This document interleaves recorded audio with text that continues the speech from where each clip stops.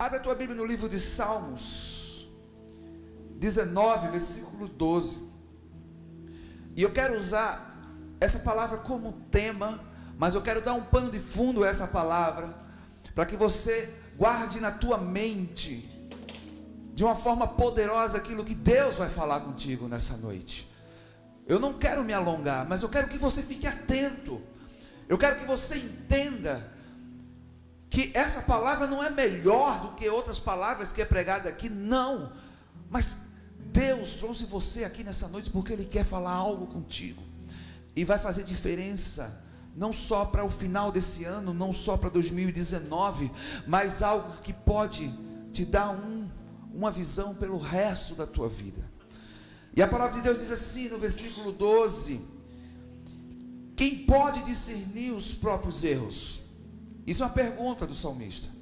Quem pode discernir os próprios erros?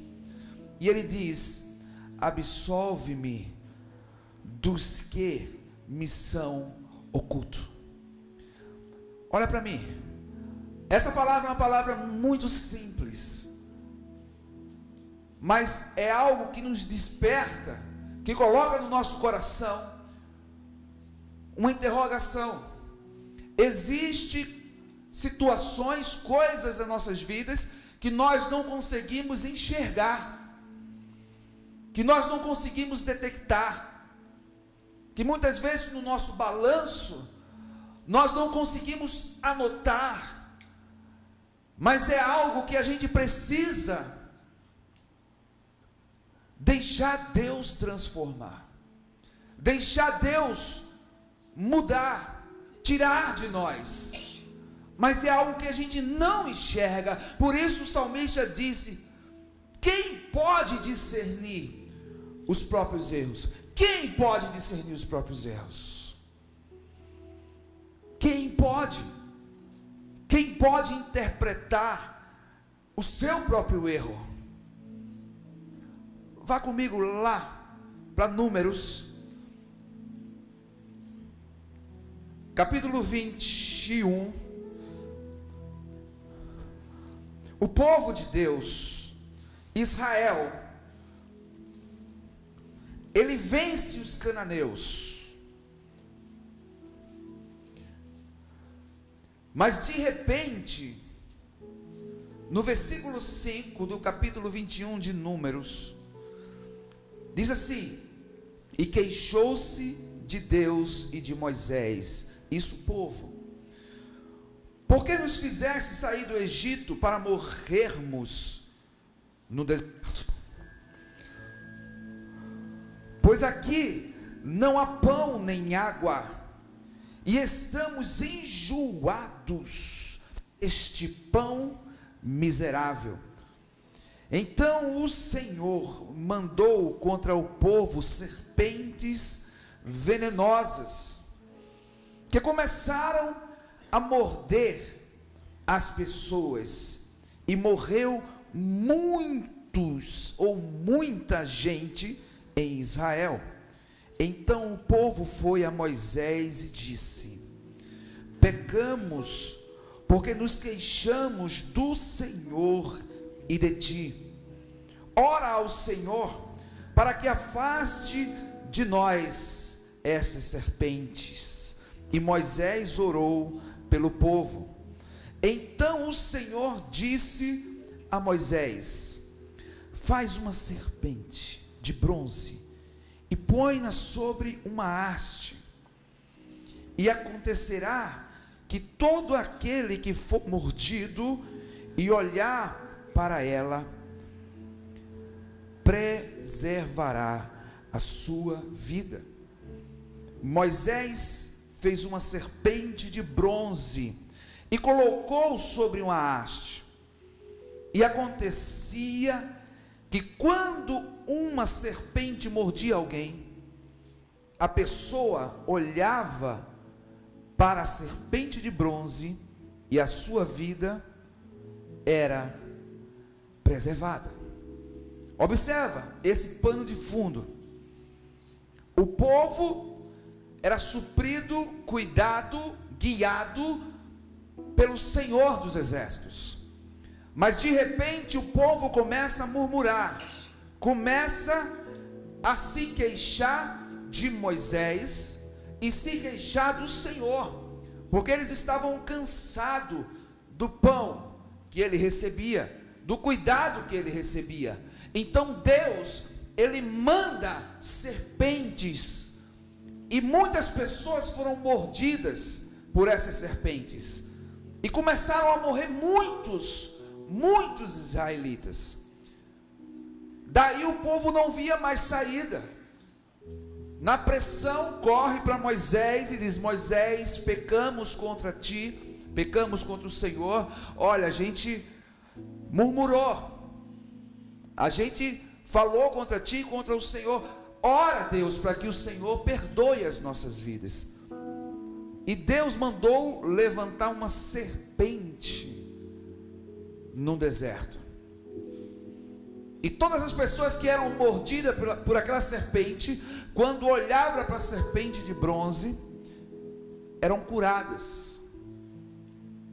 Isso no ano de 1405 aproximadamente antes de Cristo. Passou muitos anos.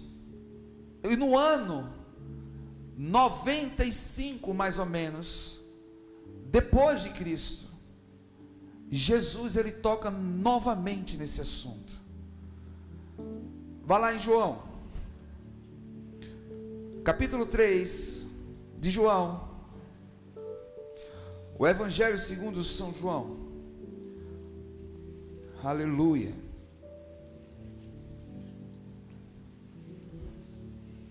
Um homem chamado Nicodemos chega diante de Jesus, o homem que era mestre. Repete comigo, mestre.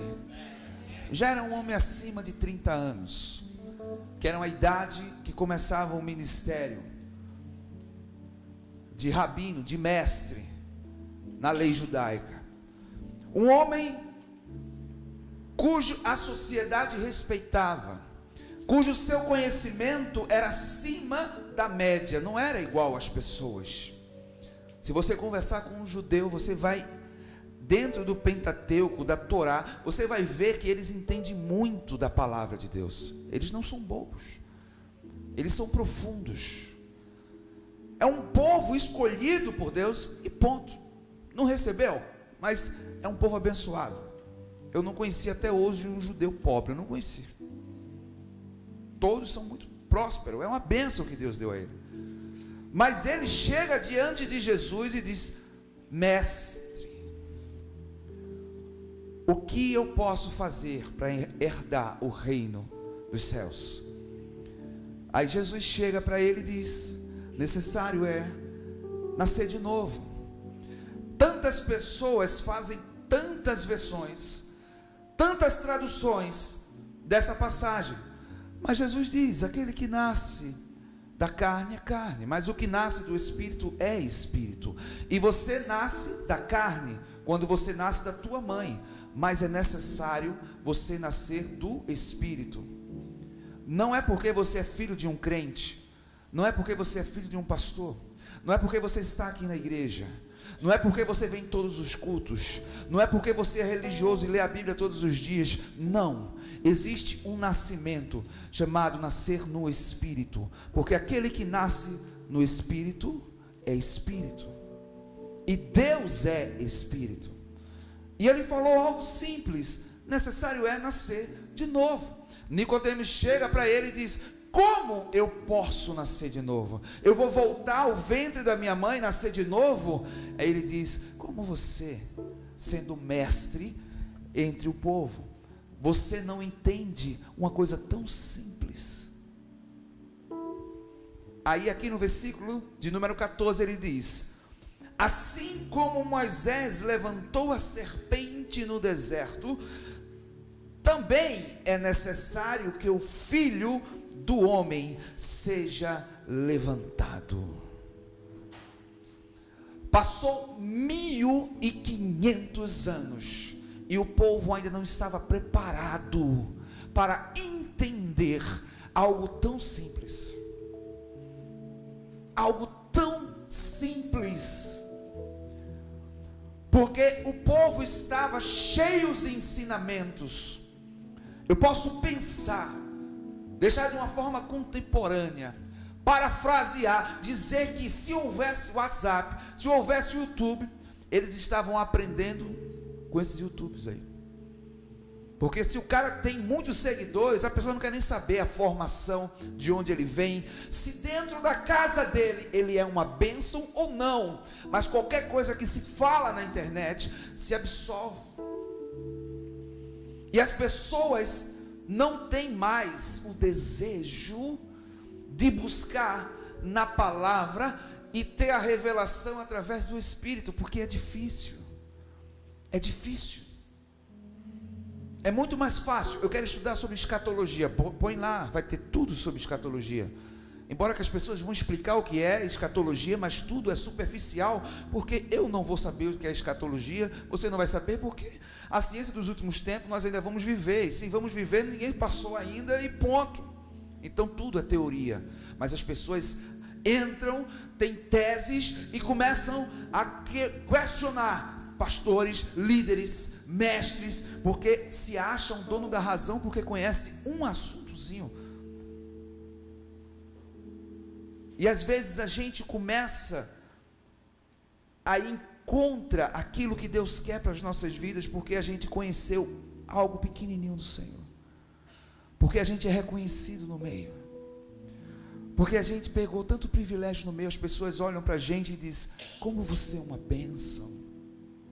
Mas aí o Espírito Santo de Deus diz: Olha, existe algo dentro de você oculto que eu quero mudar, só que você não conhece, porque você sabe analisar todas as pessoas que estão ao teu redor, fazer a retrospectiva de todas as pessoas que estão ao teu redor, ver as características, o que é bom e o que é ruim, mas você ainda não sabe olhar para dentro de você e enxergar aquilo que tem separado a minha presença e a tua.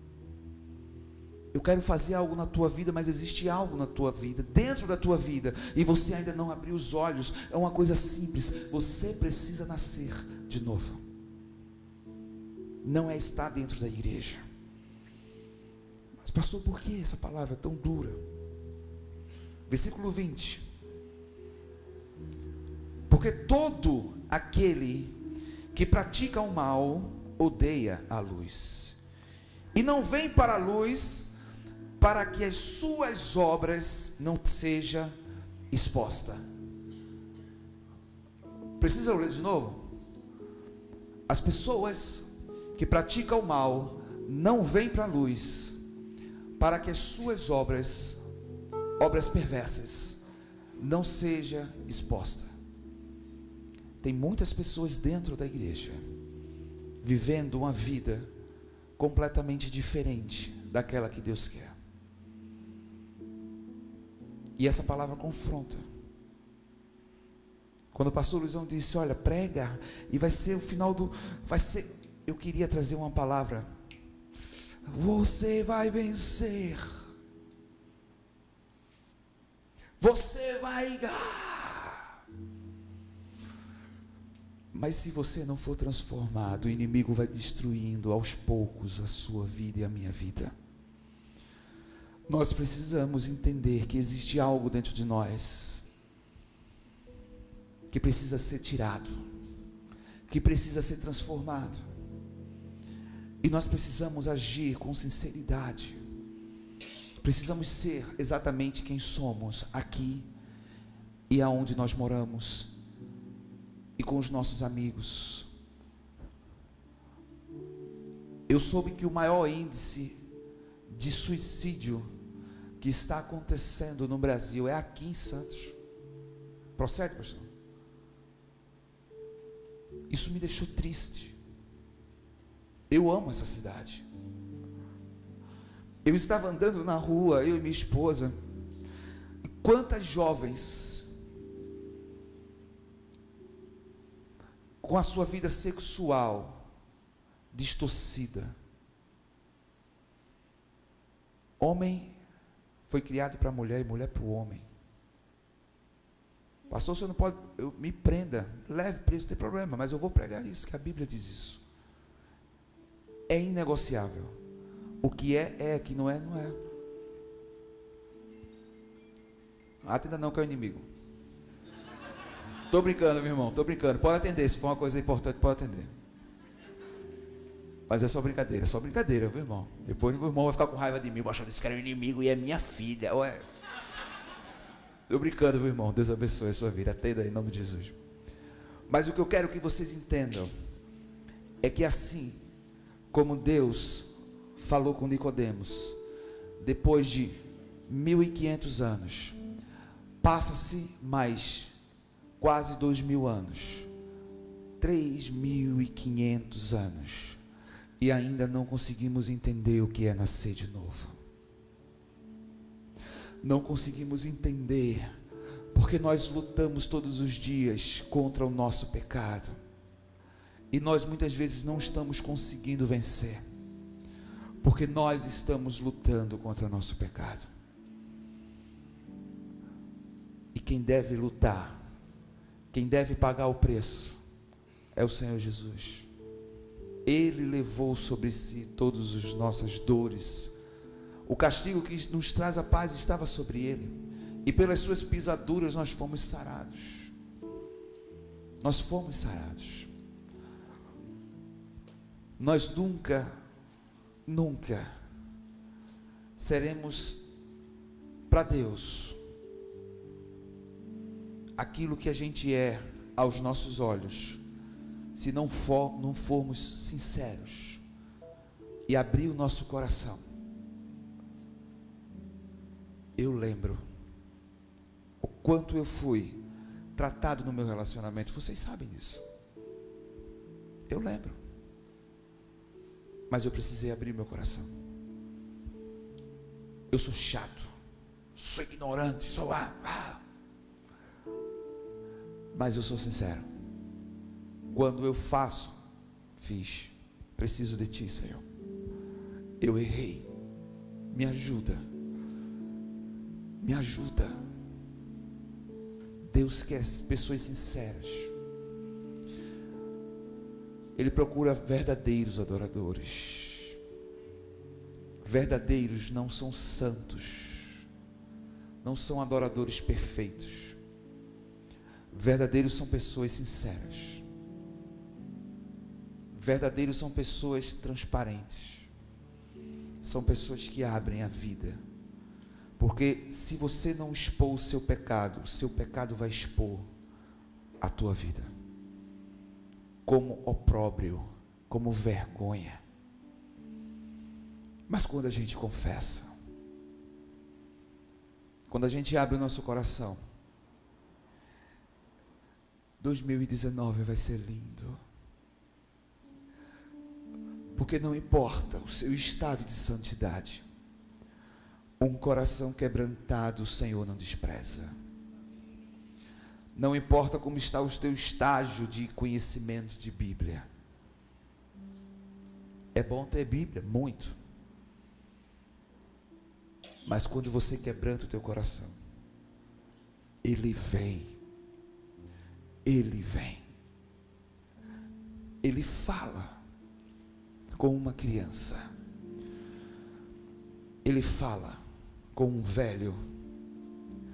Quando ele vê verdade.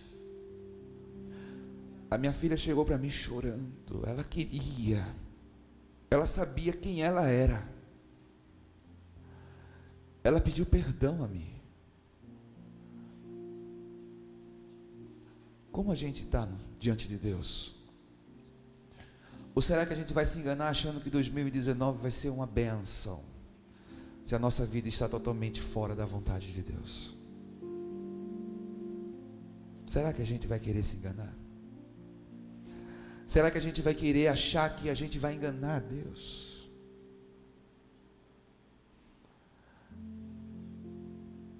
Será que a presença de Deus é menos importante do que o teu namorado que está aí do teu lado, do que do teu amigo que está do teu lado, do que do teu filho. Porque se for, A Bíblia diz que ele não dá a sua glória a outrem.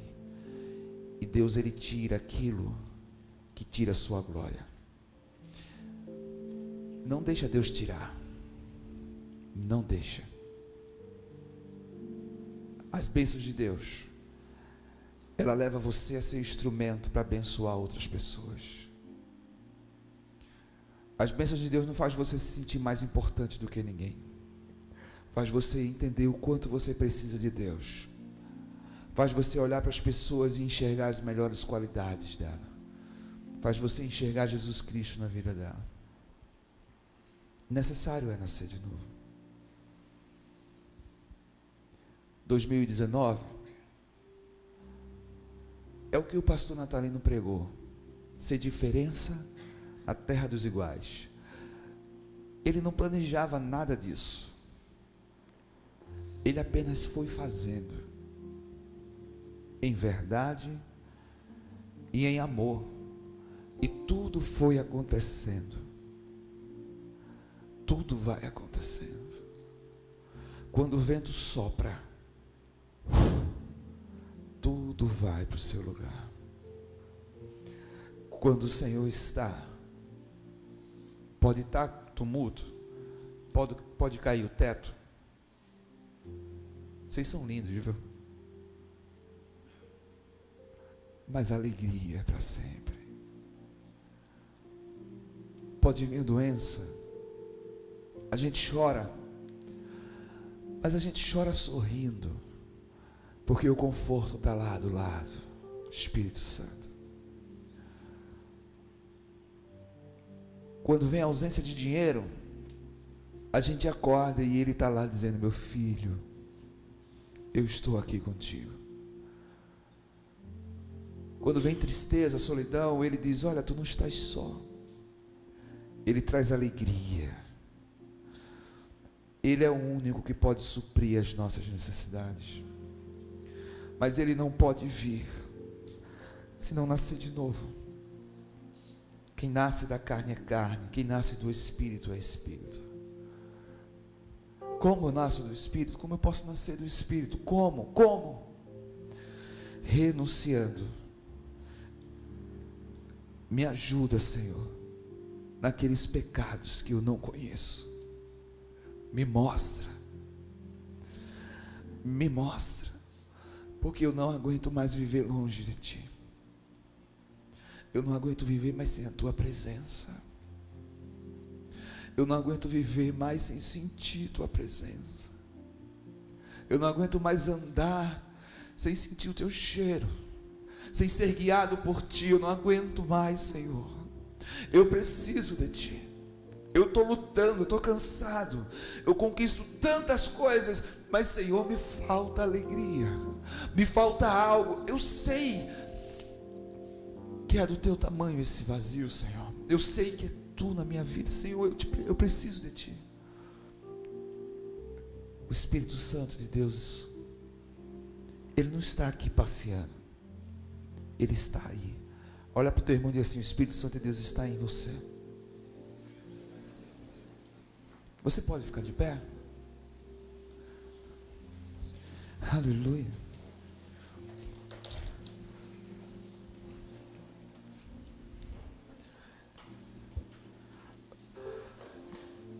Minha vida, tua vida,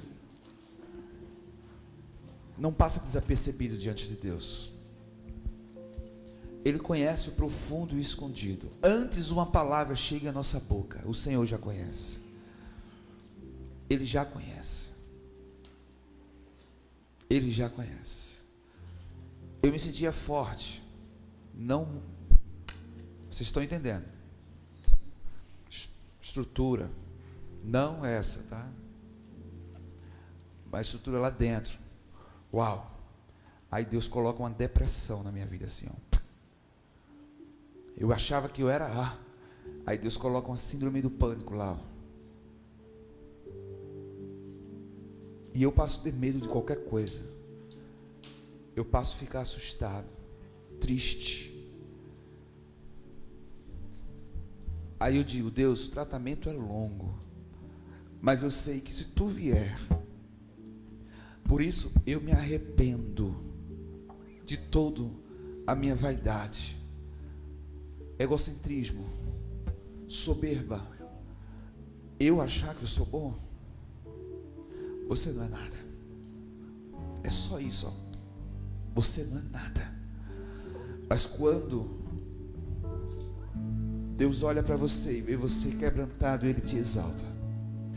Ele abate, Ele exalta. Ele é o Deus que faz todas as coisas. Nada é persuasão, nada é beleza, nada é estereótipo, é oratória, nada. Tudo é através da sinceridade. Quem é você? Quem é você? Você está se escondendo atrás de quem? Chega. 2019 não vai ser mais igual a 2018. Santidade ao Senhor. Deus ele procura verdadeiros, sinceros, que flua no espírito, que vivam os milagres do Senhor, que vivam a verdade do Senhor. Mas nós precisamos rasgar o nosso coração perante o Senhor Feche os olhos. O Senhor está nesse lugar. Ele é real. Aleluia.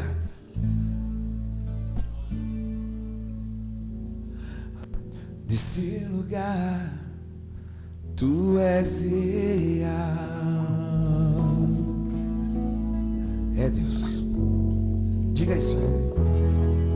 Vou me entregar totalmente o teu toque, o teu toque abriu os olhos do meu coração. Eu posso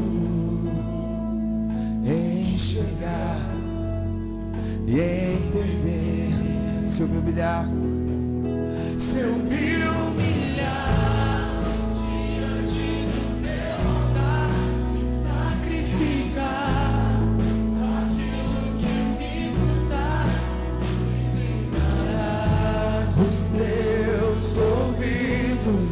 Mas fale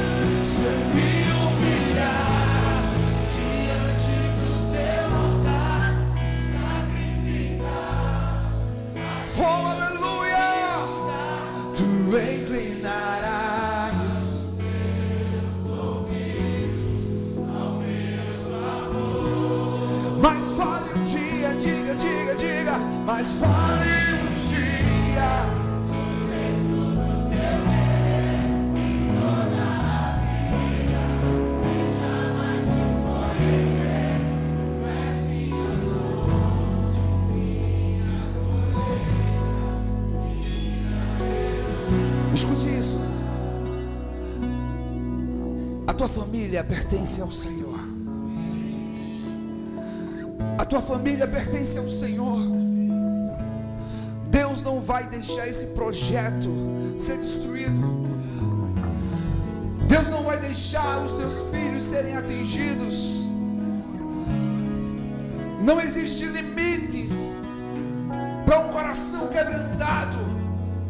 O caminho que leva à fé milagres do Senhor é um coração quebrantado, que reconhece que não tem força em si mesmo, mas que sabe que tudo vem dEle, que tudo é por Ele e é para Ele. Então, se você precisa de algo na tua vida, nessa noite eu te digo: você precisa que Deus te revele aquilo que está escondido dentro do teu coração,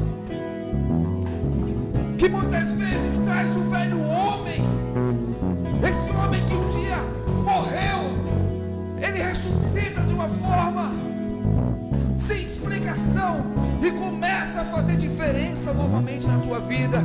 E olha, você não é o que o diabo diz. Você é aquilo que Deus diz. E Deus diz os pensamentos que Ele tem a teu respeito. Não é pensamento de mal. Deus conhece o teu coração. Deus sabe quem você é. Mas eu quero que você nessa noite coloque diante de Deus aquilo que o Espírito Santo te mostrou. Para que você hoje possa nascer, nascer no Espírito. Olha, meu irmão, eu quero nascer todo dia no Espírito. Eu quero morrer todo dia na carne. Eu quero que minha carne morra todos os dias. Eu quero todos os dias nascer no Espírito. Ah, mas eu já sou nascido no Espírito. Você já está mostrando que é orgulhoso. Ah, mas eu já sou crente. Já está mostrando que é orgulhoso. Deus está dizendo: necessário é nascer de novo. Que nasce da carne é carne, mas que nasce no Espírito é Espírito. Ah, mas antes eu falava mal das pessoas, hoje eu não falo mais. Você nasceu no Espírito nessa área. Antes eu traía, hoje eu não traio mais. Você nasceu no Espírito nessa área. Antes eu tinha depressão, não tenho mais. Nasceu no Espírito. Antes eu vivia uma vida aprisionada pelo vício, hoje você não vive mais. Nasceu no Espírito. Eu me sentia só, hoje eu não me sinto. Nasceu no Espírito. Existem muitas áreas da tua vida para nascer no Espírito. Todos os dias nós precisamos nascer no Espírito. Acordar, Senhor, eu quero que o teu Espírito gere em mim algo que eu ainda não vivi. Algo que eu ainda não vivi. Eu não quero levantar uma serpente. Eu não quero confiar em algo feito por homens eu não quero idolatria. Eu não quero idolatrar a mim mesmo. Eu não quero confiar em mim mesmo. Eu não quero confiar no meu patrão, no meu amigo que tem dinheiro. Eu não quero confiar naquilo que as pessoas me prometem. Senhor, eu não quero confiar em serpente para me curar, para eu ver o um milagre. Senhor, eu quero confiar em Ti, porque Jesus Cristo disse: assim como foi levantado a serpente no deserto, importa que Jesus Cristo seja levantado na sua vida, no seu coração. Nascer no Espírito é confiar em Jesus. Nascer no Espírito é ter desejo pela palavra de Deus. Nascer no Espírito, a minha fonte é o teu amor, Senhor. Minha herança é o teu amor. Eu quero colher teu amor. Eu quero viver o teu amor. Todas as coisas serão acrescentadas, mas eu quero estar no teu amor. Eu quero estar, Senhor, na tua presença. Eu quero romper esse ano. Não de dezembro para janeiro, mas eu quero romper espiritualmente. Eu quero viver uma nova história. Eu quero viver uma nova história, um projeto não escrito pela minha mão, não confiando na serpente, não confiando no meu talento, mas eu quero ouvir aquilo que tu tem para minha vida. Eu quero escrever essa história. Eu quero escrever essa história. Eu quero fluir no Espírito. Eu quero nascer no Espírito. Eu quero nascer no Espírito. Diga.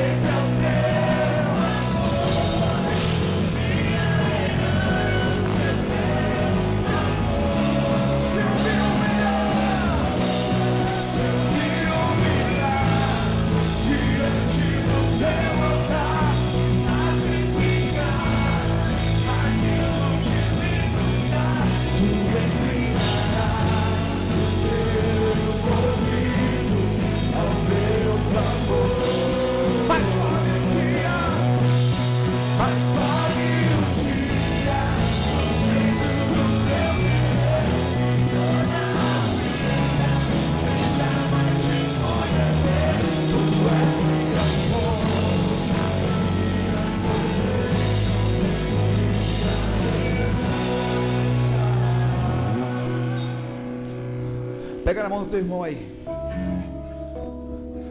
Pega na mão do teu irmão. Pega na mão do teu irmão. Deixa o Espírito Santo que está em você mexer com ele. Deixa o Espírito Santo de Deus que está em você mexer com ele. Diga assim, Senhor, nessa noite, eu quero aqui profetizar com meu irmão. Eu quero ligar na terra, liga no céu, essas palavras. Em 2019, em 2019, eu não serei escravo do meu pecado eu serei livre, viverei a plenitude do Espírito Santo. Senhor, abençoa meu irmão. Aperta a mão dele, diz assim: abençoa meu irmão. Enche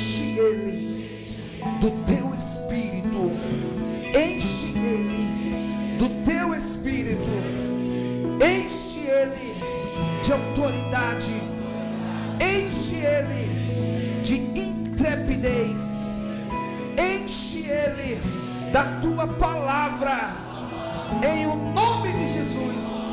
Eu profetizo sobre a vida dele, 2019, 2019, um ano de nascer no Espírito, de fluir no Espírito. Em o nome de Jesus, em o nome de Jesus, em o nome de Jesus. E se você pode, solte a mão dele e dê um brado de júbilo. Glorifique, glorifique, glorifique, glorifique, glorifique, glorifique, glorifique, glorifique.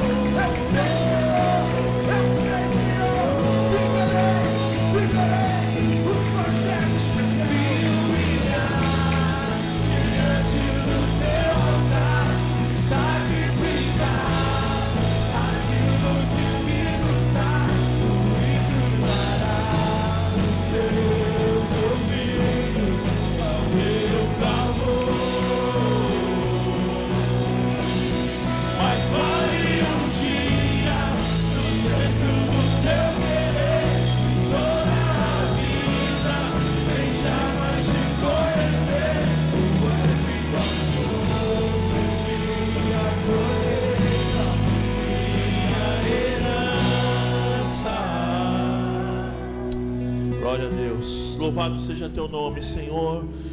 Obrigado por essa palavra, Senhor. Obrigado pela tua presença nas nossas vidas. Tua palavra diz que aquele que confessa e deixa alcança misericórdia.